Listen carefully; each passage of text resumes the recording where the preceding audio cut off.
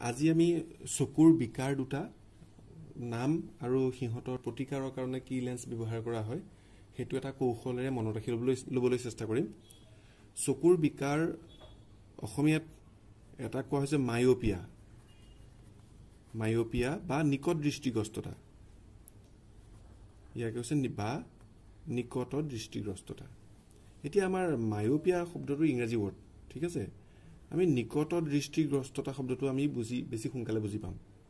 নিকট মানে কি? অঁ কাষত বা ওচৰত। এতিয়া তোমালোকে কোৱাচোন নিকট দৃষ্টিগ্ৰস্ততাৰ যদি বিকাৰ বিকাৰ মানে বেমাৰ ঠিক আছে? তেতিয়া নিকট দৃষ্টিগ্ৰস্ততাটো তোমালোকে কেনেকুৱা অৰ্থ ভাবিবা? মানে কি অৰ্থ বুজাব পাৰে? কাষত থকা বস্তুটো ভালকে দেখা নাপায়। দেখা নাপায়। আৰু তোমাৰ তুমি কোৱা সম্পূৰ্ণকৈ কোৱা যে ওচৰৰ বস্তুটো ভালদৰে দেখা নাপায়। আৰু দূৰতো দেখা পায়। কিন্তু ভুল হৈছে। একো নাই তোমালোকৰ প্ৰথমতে সেইটো ভুল হৈ যায় হ'ব পাৰে মোৰো তেনেকুৱা ভুল লাগিছিলে। আমি ভাবোঁ যে দৃষ্টিগ্ৰস্ততা এইটো বিকাৰ বেমাৰ। কি বেমাৰ? নিকট বেমাৰ মানে ওচৰতো নেদেখা বেমাৰ। আমি পোনাই লওঁ। আমাৰ মনটোৱে তেনেকৈয়ে ভাবে। কিন্তু সেইটো নহয়। নিকট দৃষ্টিগ্ৰস্ততাত ওচৰৰটোহে দেখে দূৰৰ নেদেখে। তাৰপিছত দ্বিতীয় এটা আছে এইটো মনত ৰখাৰ মই উপায় এটা দিম অলপতে। হাইপাৰ মেট্ৰপিয়া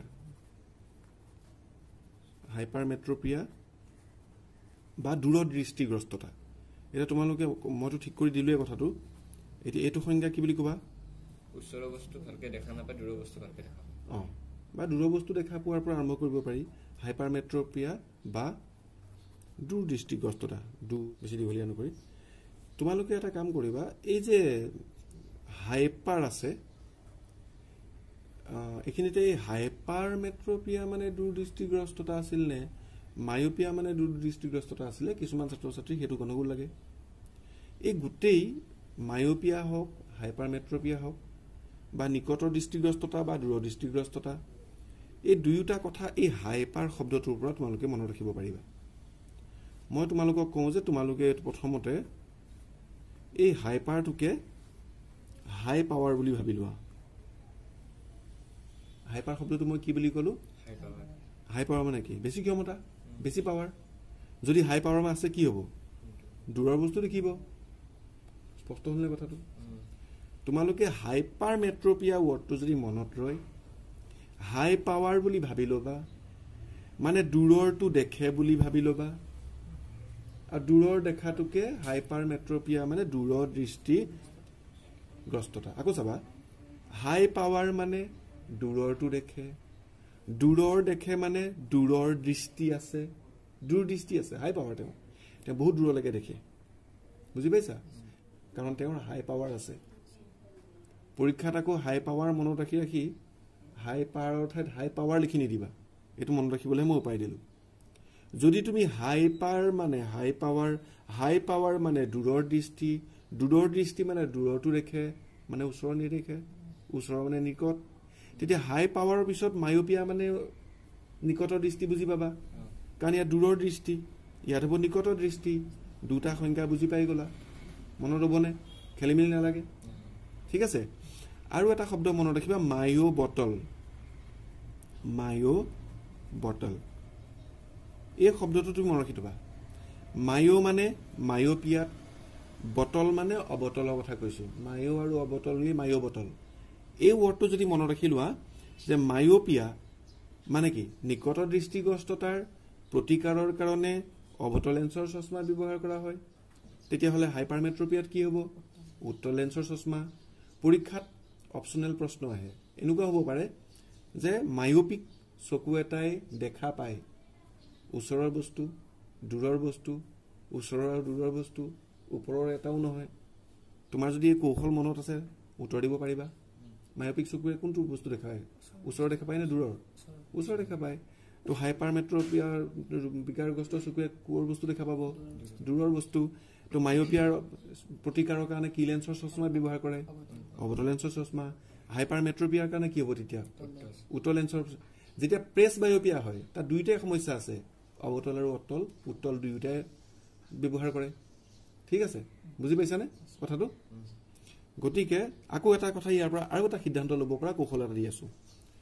কালি মানে আগৰ ক্লাছত মই তোমালোকক কৈছিলোঁ চকু এটাই যেতিয়া ওচৰৰ বস্তু চাবলগীয়া হয় তেতিয়াহ'লে ফ'কাছটো সৰু কৰে নে ডাঙৰ কৰে কৈছিলো? সৰু কৰে কাৰণ সি লেন্সখন সৰু কৰে। দূৰলৈ গ'লে লেন্সখন শিথিল কৰি ডাঙৰ কৰে। দূৰৰ বস্তু চালে লেন্সখন শিথিল কৰে ফ'কাছ ডাঙৰ কৰে।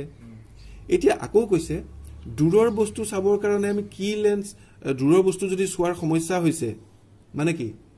দূৰৰ বস্তু চোৱাত সমস্যা বেমাৰটো নিকট দৃষ্টিগ্ৰস্ততা নে দূৰৰ দৃষ্টিগ্ৰস্ততা নিকট দৃষ্টিগ্ৰস্ততা মানে ওচৰতো দেখি আছে। যদি নিকট দৃষ্টিগ্ৰস্ততা আছে ওচৰৰটো দেখি আছে প্ৰব্লেম দূৰত তেতিয়া লেন্স কি লগাইছিলো? অবতল মায়ো বটল। গতিকে অবতল লেন্সৰ চশমা লগাইছো। তেতিয়া তুমি কি বুজিলা? অবতল লেন্সখনৰ ব্যৱহাৰে ফ'কাছ দৈৰ্ঘ্যৰ ক্ষেত্ৰত কি কৰিছে? ফ'কাছৰ বৃদ্ধিত সহায় কৰিছে।